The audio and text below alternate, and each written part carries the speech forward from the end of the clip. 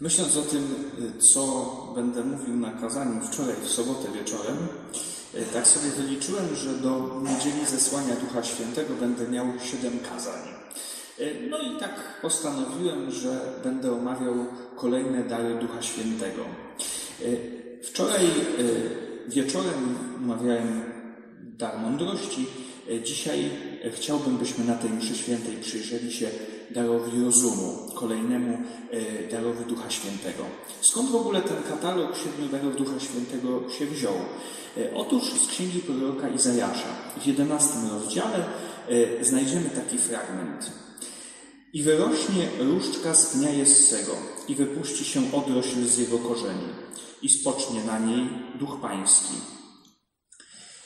Duch mądrości i rozumu, duch rady i męstwa, duch wiedzy i bojaźni pańskiej.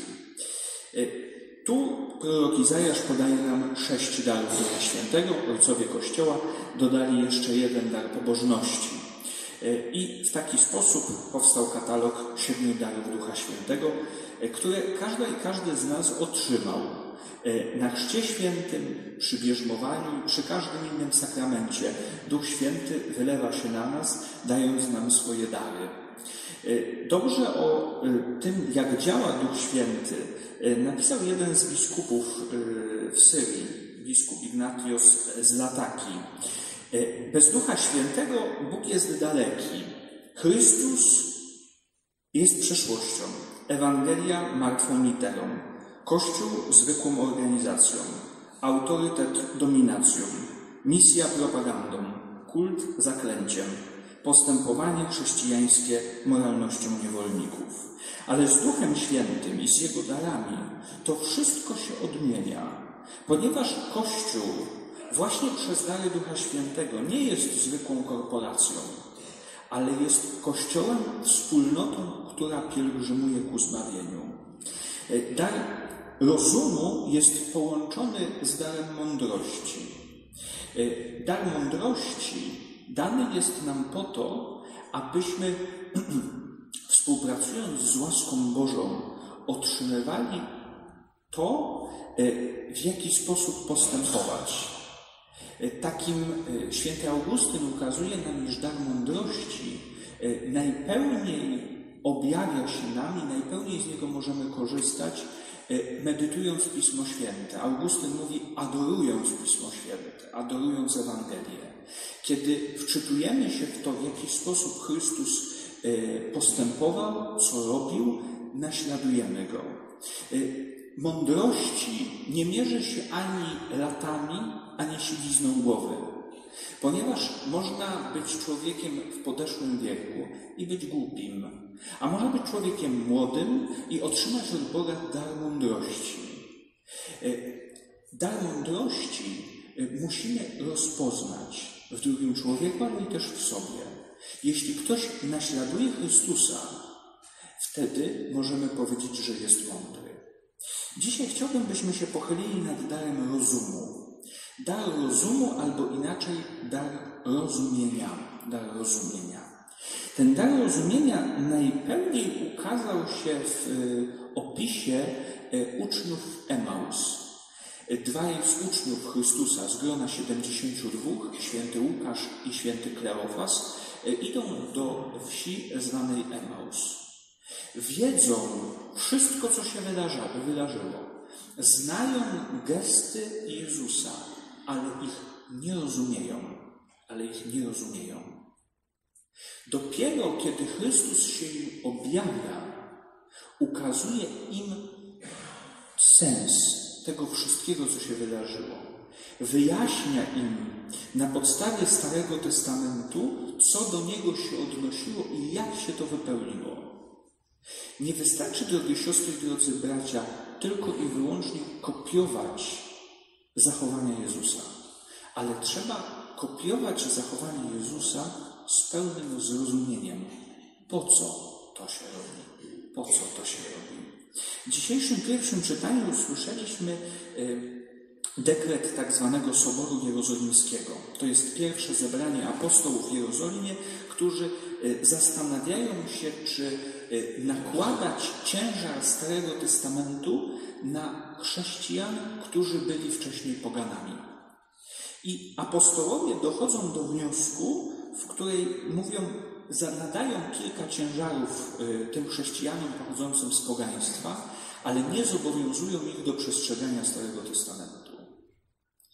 Wcześniej apostołowie niektórzy to robili. Nakładali cały ciężar Starego Testamentu na pogan, czyli wszystkie zwyczaje żydowskie kazali przestrzegać poganom. I w pewnym momencie apostołowie stają przed problemem i choć postępują mądrze, ponieważ wypełniają przepisy Starego Testamentu, to ich de facto nie rozumieją. To ich de facto nie rozumieją. I dopiero zebrawszy się i wezwawszy Ducha Świętego, zaczynają rozumieć, jaki jest sens Starego Przymierza. Po co ono zostało dane i w jaki sposób mają ich przestrzegać tych przepisów, niektórych przepisów poganie. Y, zdaniem rozumu jest to troszeczkę tak, jak mm, taka, takie opowiadanie kaznodziejskie o y, kolejarzu. Ja pamiętam jako dziecko, że generalnie y, jak były te stare pociągi jeszcze, to po, jakimś tam, po jakiejś tam trasie taki kolejarz szedł z takim dosyć długim młotkiem i uderzał w coś tam na dole w tych, w tych, w tych pociągach.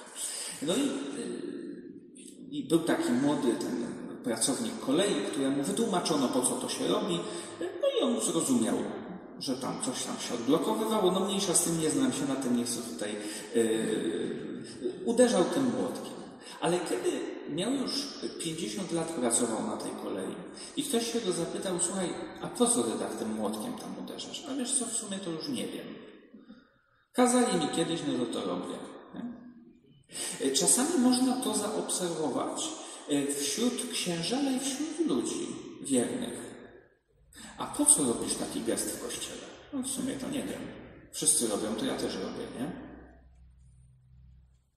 To jest tak, jak e, jeden z księży kieleckiej diecezji zapytał się e, księży po pięciu latach kapłaństwa, słuchajcie, jak lewacie wodę i wino do kielicha, to wycieracie ten brzeg, a po co to robicie? No wszyscy tak robią, to my też tak robimy, nie? E, mają jakąś, jakąś mądrość, mają mądrość, ale jej nie rozumieją. Ale jej nie rozumieją. E, chrześcijanin to człowiek, który stara się zrozumieć. Nie tylko odkryć mądrość, ale ją zrozumieć. Po to, aby mądrość dostosować do swojego życia. Bo nie można tylko i wyłącznie ślepo kogoś kopiować, ale trzeba rozumieć, dlaczego się go kopiuje. Po co? Po co? Po to nam Kościół daje przykłady świętych, abyśmy ich naśladowali. Nie kopiowali, ale naśladowali. Abyśmy zrozumieli ich sytuację życia, okoliczności, wydarzenia, to, co się działo w ich życiu i w jaki sposób oni wypełnili Ewangelię, abyśmy ich naśladowali, czyli zrozumiawszy coś, postępowali mądrze, postępowali mądrze. Drogie siostry drodzy bracia, życzę i sobie i Wam, abyśmy naśladując Chrystusa, czytając Ewangelię, starali się Chrystusa zrozumieć. Zrozumieć, dlaczego postępował tak, a nie inaczej. E, zrozumieć, dlaczego mówił to, a nie coś innego. Abyśmy e, z tych dwóch darów Ducha Świętego, z wszystkich siedmiu, ale z tych dwóch e, szczególnie korzystali. Z daru mądrości, czyli czytania i rozważania wydarzeń zbawczych, tego, co się działo w Ewangelii, ale również zrozumienia ich nie tylko ślepego naśladowania, ale zrozumienia i dostosowywania w naszym życiu. Tak, abyśmy czerpiąc e, z darów Ducha Świętego, e, czerpiąc z tej łaski, mogli dojść do zbawienia, czego życzę i sobie i Wam. Amen.